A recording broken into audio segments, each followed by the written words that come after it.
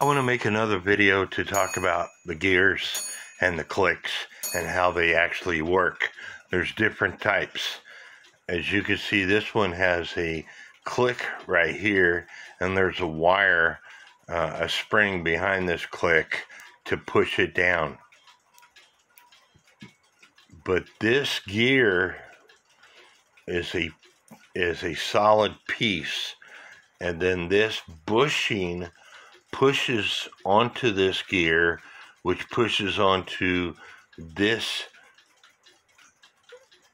tooth gear to push it up against, and that is how it operates.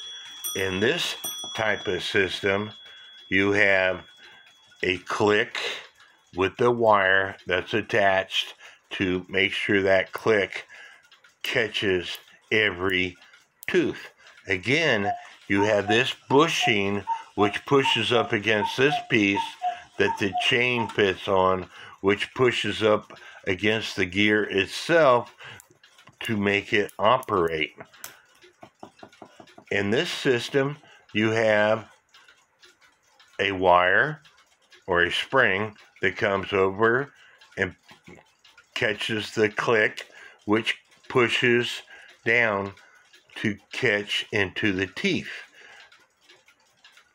This gear right here is pushed down onto that, and actually, if I was to take this apart, stand by and I'll do that.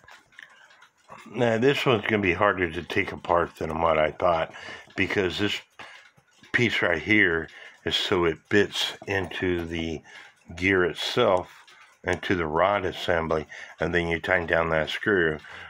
This setup here is all smushed down so I'd probably tear up this gear in order to take that apart.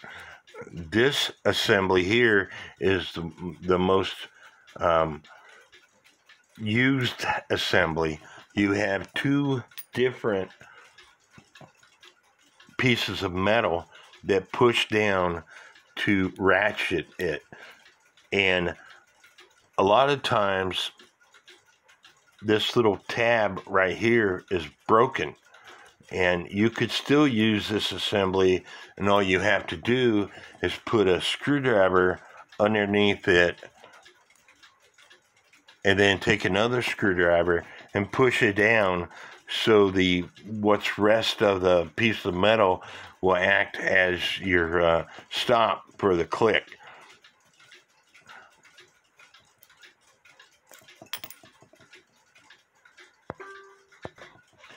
And the way you take this assembly apart is you take this pressed on fitting off, which has a three prong spring, uh, a compression spring, and if this is too far apart, then your gears are not catching.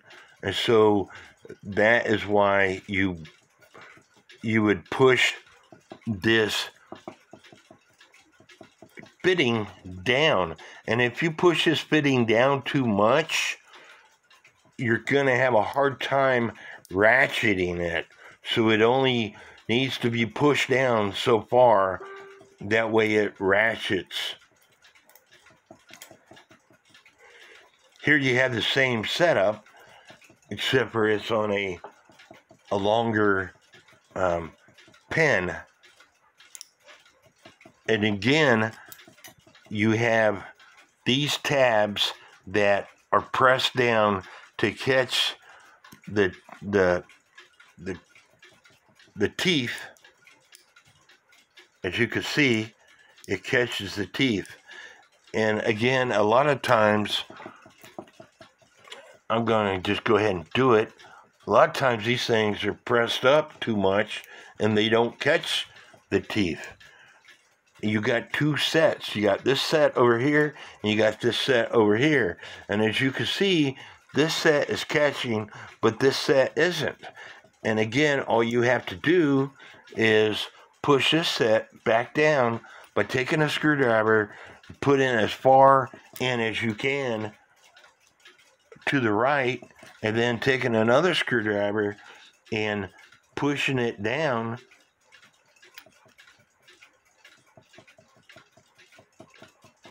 Trying to do this on camera.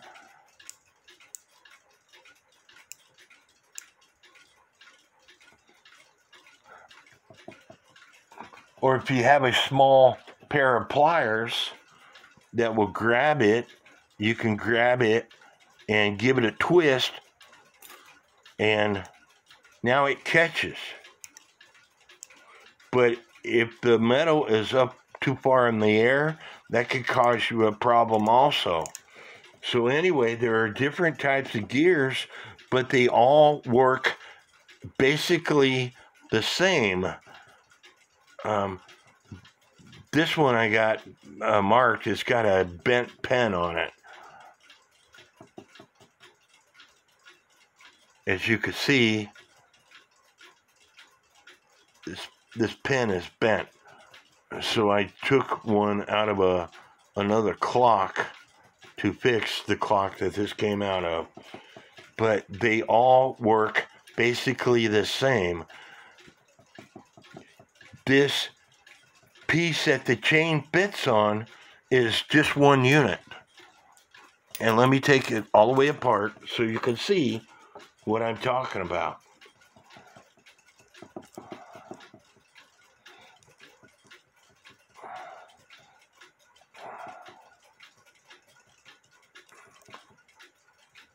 Typically, I would use be using a, a a pry bar to get this off so I don't bend it uh, like I'm doing here. But this is one unit, the part that the chain fits on. Then this part is what gives you the ratchet. And the part that the chain fits on, if I can get this all the way off,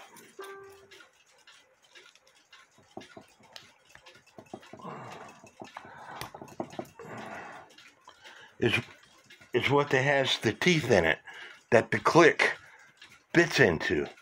So again, it don't matter what there is one out there, an older one that I had to buy a new gear for. And Carl, that might be your system. Uh, it's a DRGM, and uh, it is a funky system, but they pretty well all work uh, the same way. You got this part here, which has your click on it, whether it's this type of click or whether it's this type of click where it's got the uh, uh, the click itself that is typically riveted to the gear plate.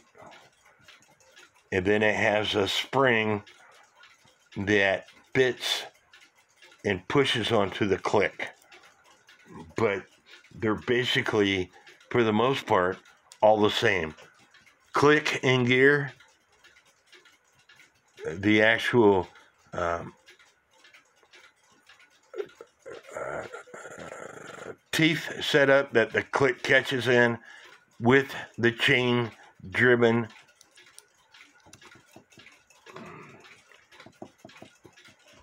Then some type of spring that holds it into place for friction. And sometimes you have to bend these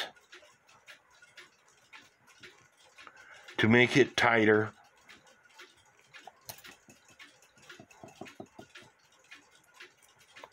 And then what holds it all into place this friction type of washer. See there I got it. It's it, it's it's fine uh, other than the part that I bent which I could straighten out with the pliers. I hope this helps. Please hit the subscribe button and God bless